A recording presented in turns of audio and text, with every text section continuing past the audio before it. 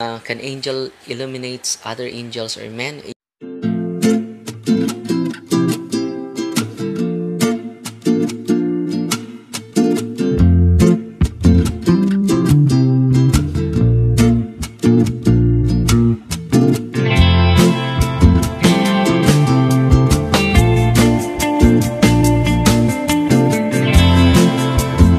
Father, unsay masulti nimo kang kibuloy na blurred man picture nga nakamaskara man, no? Sana eh pinakita nila 'yon, parang hindi na magdududa yung mga tao, 'di ba po? Uh, dudubli yung duda ng mga tao kapag hindi mapakita. Bakit naman tatakbunan? Kilala naman natin si Pastor Kibuloy, di ba? Mm ah, excited naman ako. Pero hindi pinapakita. Mm. Uh, so, hindi ko alam kung bakit hindi pinapakita si Kibuloy. Mm-mm. Uh, tingnan na natin. Hindi lang tayo maghusga ng madali, no? Pero mas mabuti na pinakita yon hindi naka, nakabalot. Chris Choms, good evening, Father. Uh, Darwin, at si Rookie Mier, uh, Bortanog Jr. is watching. Si Mark uh, Vincent Lapadis Bito, Father uh, magandang um, nanonood sa atin si Alma uh, Paranas ng Star. Anong Paranas ng Star? No? Salamat sa mga star senders natin. Lahat tayo excited na makita. Kaso nakabalot nga eh. Nakasombrero pa. Mm-mm. So, hindi natin alam kung ano yung intention ng mga pulis. No? Bakit nakabalot? Tingnan natin kung totoo bang si Kibulo yun. No? Sana si Kibuloy talaga, no? Happy 40th baptism. Oh, ngayon pala ang 40th anniversary sa baptism ko, no? Na humiliya ako ka kanina sa nandun tayo sa ano eh, pumupunta tayo sa sa sa Danao, Valencia, Bohol dahil sa Holy Spirit Mass nila. And then, alam nyo ba na ngayong araw, uh, ka 40 years ko na bilang anak sa Diyos dahil through the sacrament of baptism, maging anak tayo ng Diyos. Mm. Amen? And then, uh, may inaanwanting of the sick tayo kanina. Mm. Dalawa. And then, may ina-exercise din tayo. Bago lang tayo natapos ngayon sa exorcism uh, grabe no ang mga pasyente natin. So dahil uh, bakante yung uh, from 4 to 6, yan, yan po ang ini entertain ko sa dalawang pasyente lang na totoong possessed talaga na grabe. At uh, ngayon lang tayo naka ano natapos. And then Before going there, I'm reading the book of Father uh, Chad Ripper Jer. No? Maganda po ito. So, ang title natin, Does Angel or Demon Can Commit Mistake? Can commit error? Uh, pwede bang magkamali yung demonyo? Yan ang, ang magandang diskusyon natin ngayon. So, so babasahin natin ang aklat, no? Uh, congrats, Father, sa humili. Ay, salamat din uh, happy baptismal anniversary. No? Happy 40th of your baptism, Father Darwin. So, ika-40th baptism natin ngayon. Uh, tuwang-tuwa po ako dahil uh, 40 years na pala akong anak ng Diyos no? sa mabagitan ng uh, sa pamagitan ng uh, sakramento na bautismo. Salamat sa mga nagpadala ng mga star senders. Babasahin ko mamaya yung mga star senders natin. So, mag-start na tayo mga kapatid ha. Uh, about sa angelic knowledge and error. O, babasahin natin. So, ang ganda nito po, makatulong po ito to understand more the spiritual reality po. Ang ganda ng simbahan, very depth sa theology mga kapatid uh, ako po ay na-amaze. No? So, mabasahin natin dahil may mga footnote po ito, mga quotation sa mga authors ng mga aklat at lalo-lalo na sa mga mga theologians. Angelic knowledge and error due to the fact that the angels do not understand by judgment or reasoning. Bakit wala silang ano eh? Uh, wala silang uh, katulad sa atin. Do not understand by judgment or reasoning, but by focusing their intellects, by their will on something. Angels do not have falsity in their intellects. Ano?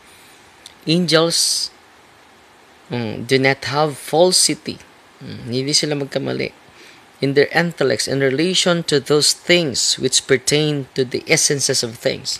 So lah, hindi sila magkamali sa pag mm, sa lahat ng mga bagay, mga created things. Bakit? Mm. Sabi dito, due to the lack of falsehood. Mm, due to the lack of falsehood, since God infuses their knowledge in them directly. So lahat ng mga created things, lahat ng substance nila, accidents nila, alam nila dyan, yan. Alam nila ang computer, hindi kailangan mag-study pa sila. So, sa pagkikita nila, you cannot commit error.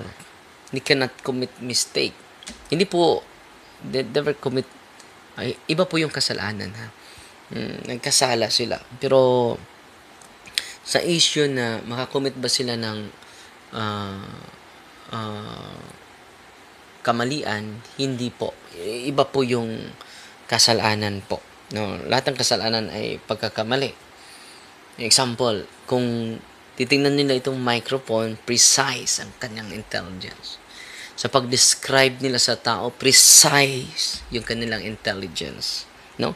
Due to lack of falsehood, since God infuses their knowledge in them directly, demons cannot hear angels cannot hear or be deceived properly speaking. So, sabi dito sa aklat, demon and angels cannot hear.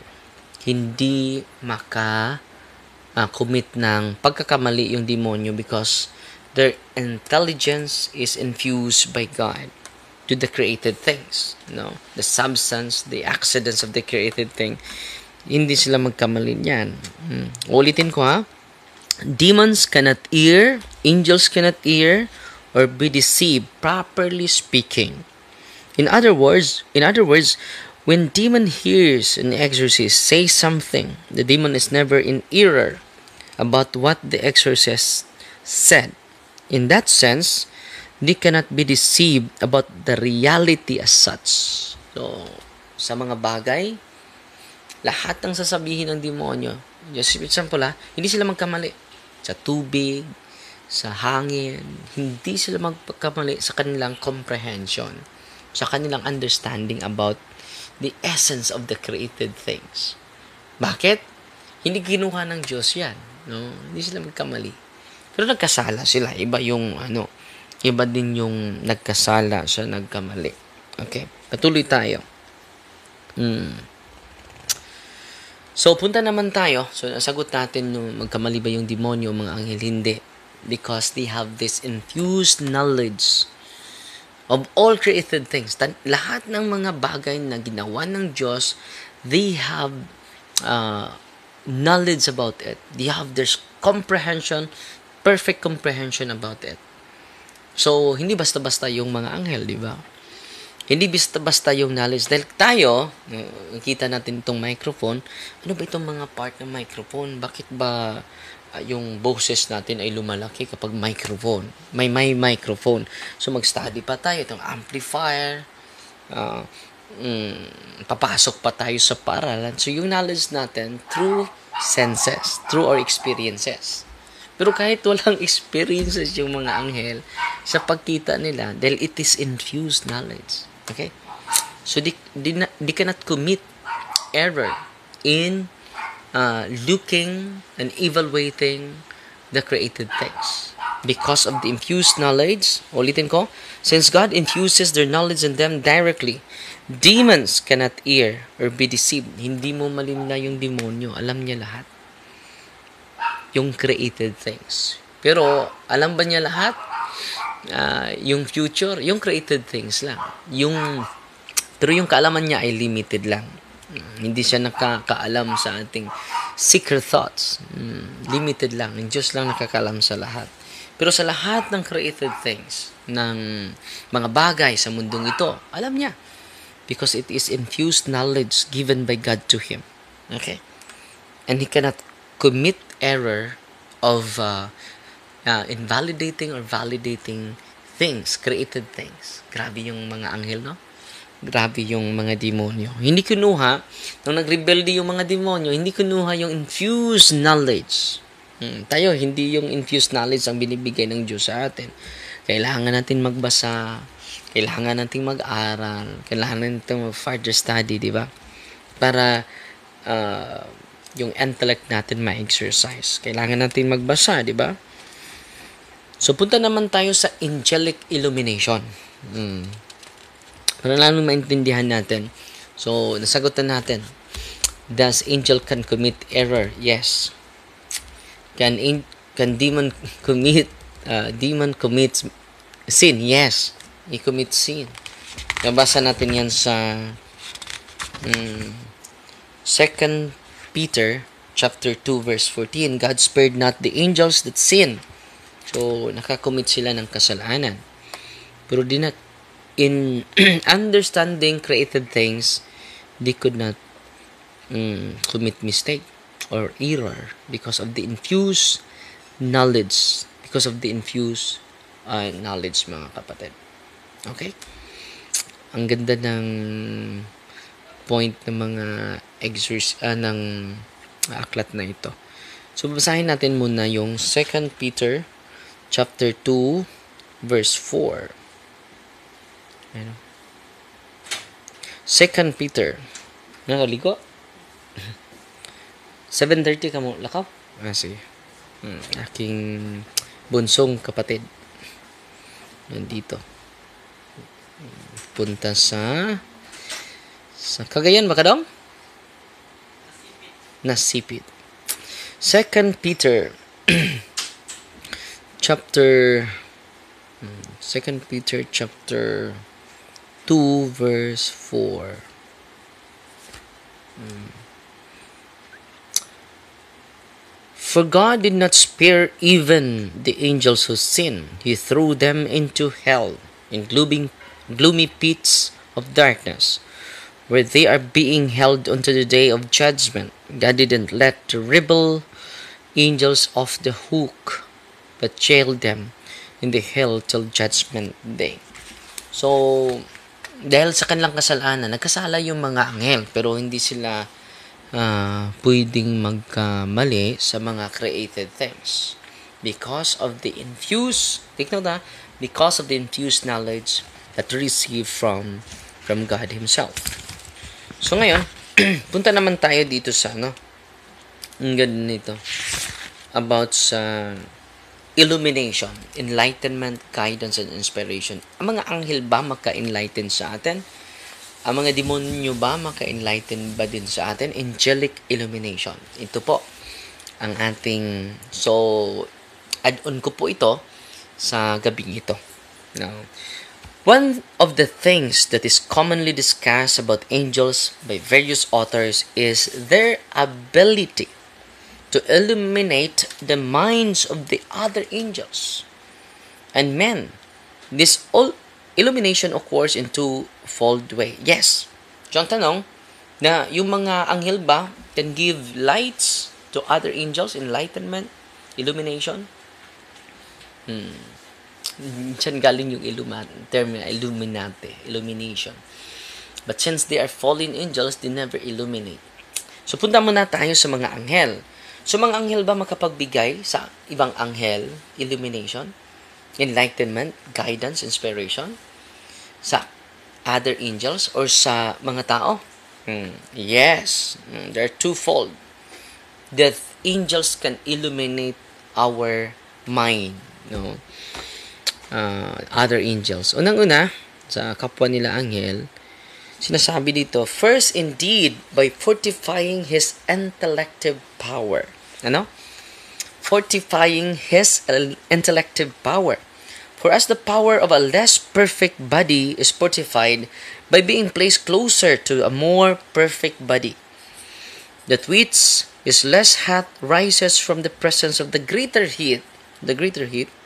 So, the intellective power of the inferior, intellective power, yung capacity ng isang uh, mababang anghel hmm, is strengthened from the conversion of the superior angel to him.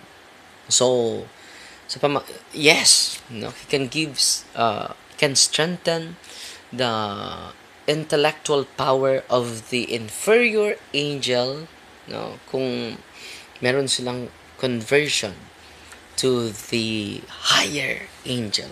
May hierarchy yung mga angel eh. So they can give enlightenments, strengthening the intellectual power of the inferior angels. No? Yan tawag yang first, take note, fortifying, uh, fortifying or strengthening the, the intellective power of the inferior angel. Pwede po. Mm. So they can give in inspiration, enlightenment, illumination to their fellow angels. Wow! Ang ganda nito. Yan po ang una. Take note ha. Ano yung una? Uh, can angel illuminates other angels or men? Yes. No. Yes, yes, yes. Through uh, uh, fortifying intellective power. Yung intellective power sa ating isipan. Uh, yung knowledge niya ay inferior, no, itong superior knowledge, yung mataas na knowledge, can give fortifying intellective power. No? Para yung inferior spirits, inferior angels, can uh, can reach no to the highest level of knowledge. Wow. Okay. Secondly, ang pangalawa po ito, take note, secondly, moreover, one angel manifests to the other truth on the part of the similitude of the intellect. For the superior angel receives the knowledge of the truth. Hmm. So, una day, unang-una is he can strengthen the inferior spirits, the superior angel. The second one, the the superior angel have this uh, knowledge of truth, universal conception. So, wide yung knowledge ng infer- eh, superior angel. Ang inferior angel, hmm, ang inferior angel, they have knowledge but not suffice. To which the grasping by the intellect of the inferior angel does not suffice. But it is the nature to him that he receives a more particular truth a more particular truth, superior angel conceives the truth more universally, and certainly he distinguishes it so that it is able to be grasped by the inferior angel, and thus he pre- proposes it so that he may know it. So, dahil superior ang kanyang knowledge no, sa mga inferior angels, uh, kita nyo yung communion nila. Hindi sila uh, kahit superior yung mga superior spirits, your superior angels, hindi din nag-dominate sa mga inferior angels, mga guardian angels. Sunod na mga araw, uh, itatakol din natin yung hierarchy of angels. Okay? So, yung hierarchy of angels, hindi yun nagkumpetensya sila. No? Okay? Hindi po yun competition, mga kapatid. Ang ganda ng ng ng reality, spiritual reality of the angels. Okay. Patuloy tayo. Two things occur in angelic illumination. Two things. The first is the one angels acts upon the intellect of the another in such a manner that it strengthens the power of the lower angelic intellect so that it can grasp things that are above its ability to do through its own nature. So, ang kanyang uh, i-discuss din natin yung mode of communication ng mga anghel.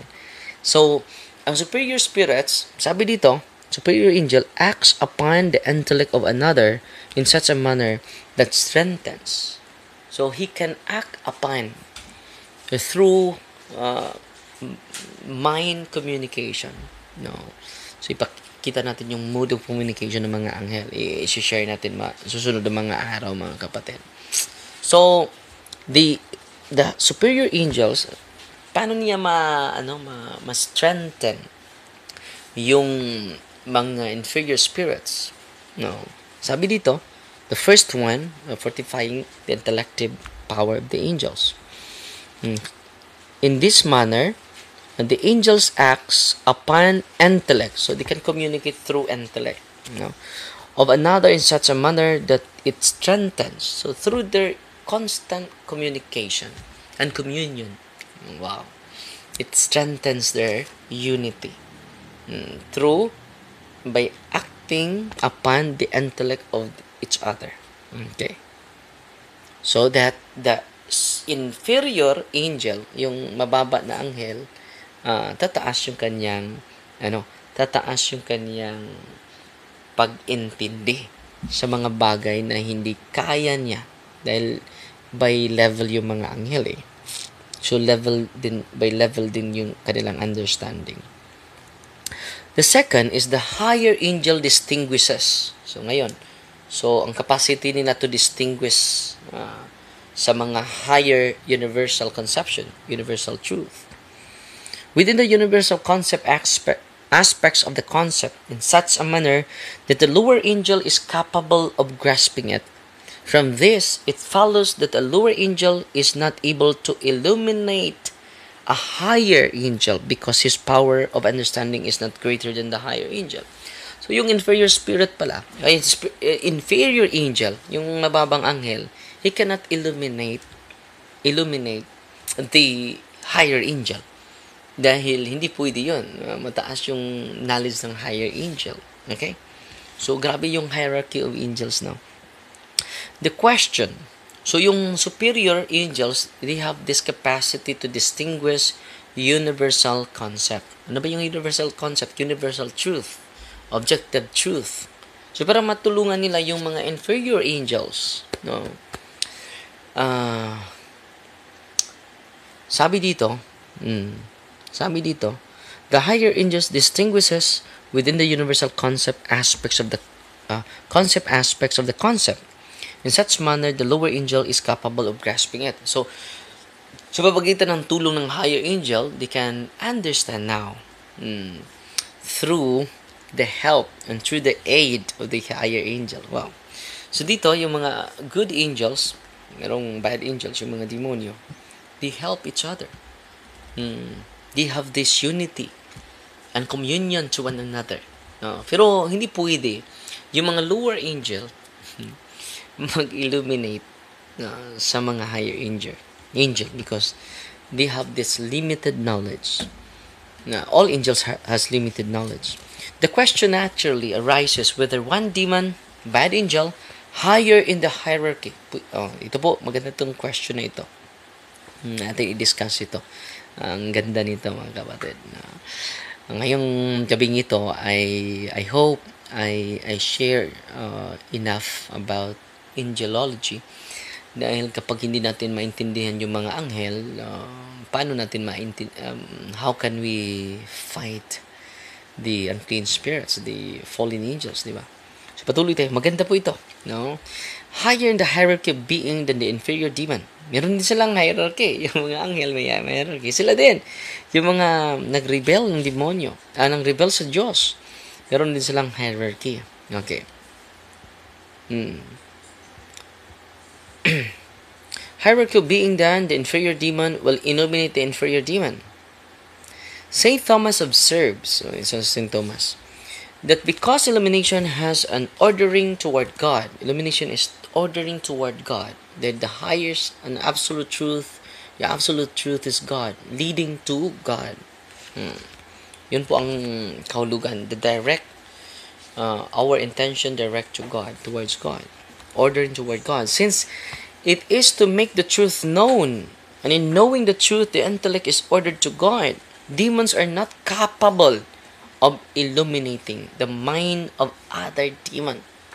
Hindi po hindi po kaya ng mga demonyo 'yan. To illuminate the mind of other demon. Since that is contrary to their will. Contrary po. Yung will nila is evil talaga. No? At madidis ah, susunod na mga araw, i-discuss pa natin bakit. So ito po mga discussion natin. Hindi pa natin maintindihan yung mga terminology. Susunod ay maintindihan natin. Intellect and will. Yan po ay dyan tayo mag, uh, mag lalong maintindihan natin ng demonyo yung may patungkol sa kanilang intellect at sa kanilang will intellect is their mind will mm, kabubuton mm, their free will their choices mm. So, contrary po yan sa kanilang choices, no? So, to eliminate, bawal po yan, contrary sa kanilang nature. Mm. This does not preclude the ability to communicate or to... Pero, di kan communicate, mga kapatid. Di kan communicate. Dong, palugog, charge, ari palugog, eh. Uh, sa... Sa... Okay, palugog. Wa man ma-charge.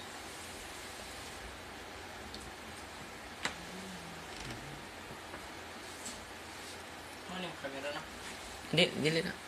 Kaya bang sa kini kini kini. Okay, lubat na. So, excuse muna mga kapatid ha. I-charge muna natin. Ang ating, ano. Okay na. I-charge na. Salamat to. Okay. Patuloy tayo mga, mga kapatid. Okay. They can communicate to other demons but they cannot uh, illuminate. Bakit? Mm. Sabi dito sa footnote, mm, Saint Thomas did not mention it, but it would also appear that one of the reasons that the demons would not illuminate the mind of lower demons is because of the concept that the knowledge is power. Hmm. Bakit sila hindi magtuturo sa kanilang kalaman? Because the concept, knowledge is power. Kapag tuturuan mo yung mga demonyo, baka mag-rebuild sa kanila. oh, nag-rebuild na nga kami. Re-rebuildihin pa kami sa mga sakop namin. Hmm. Okay. So, it is from the praise of Francis, Sir Francis Bacon. Akala ko kay Ernie Baron yun. Uh, Francis Bacon pala yun. Knowledge is power. Okay. Adulity. Although there is no known occurrence of this precise phrase of Bacon's English of Latin uh, writings, the higher demons will want to keep the lower demons ignorant. So, anong gusto ng uh, higher demon? Uh, yung mga lower demons niya ay gusto nila na ignorant lang. Mm, hindi dapat nila i-share yung higher knowledge nila infused knowledge nila sa Diyos. No? Yung preternatural power nila, greater than the superior spirits. Gusto ng mga demonyo, mamantinin lang kayo ng ignorant. Ang ganda, no? And not boast their intelligence in order to have greater power. Hindi nila ipagmalaki yung kanilang kapangyarihan. Bakit? To have greater power So, hindi nila isi-share yung kaalaman nila. Mm, ah, lamang kami sa inyo, lamang kami sa inyo, lamang kami sa inyo. Oh. Ano pa? Oh. Remain ignorant and then lamang sila sa kaalaman sa mga tatlo po, ignorant, lamang sila sa kapangyarihan. Bakit lamang sila sa kapangyarihan? Lamang sila sa kaalaman sa mga inferior angels or demons. Pangatlo, dominion over them gusto nila na they will dominate over the inferior demons. Uh, kaya pala, yun pala ang theological concept. Bakit ang mga demonyo ay hindi mag-illuminate o mag mag-guide, mag-enlighten uh, sa mga inferior demons. No? Una, they want to remain ignorant, yung mga mga inferior demons, yung mga mababang demonyo sa kala, sa kanila. Pangalawa, uh, to obtain greater influence, greater power against the uh, inferior demons. Pangatlo, to enjoy dominion. Okay. Wow. So, dominion yung title ng ano, no, ng aklat natin. Okay. Patuloy tayo. Hmm. In this sense, it is not merely a matter of the fact that one demon's will is stronger than the other, but also the demons would want the other ones to remain ignorant and in the dark, not just about the understanding of things, but also as the particulars. For this reason, the higher angels would not communicate particulars that they would know to the lower angels. On the other hand, it does not appear that the lower angel would necessarily communicate to the higher angel a particular that he might know that the higher angel does not know. Example, some things uh, that were communicated to him at his creation were not known to the other angels. Okay.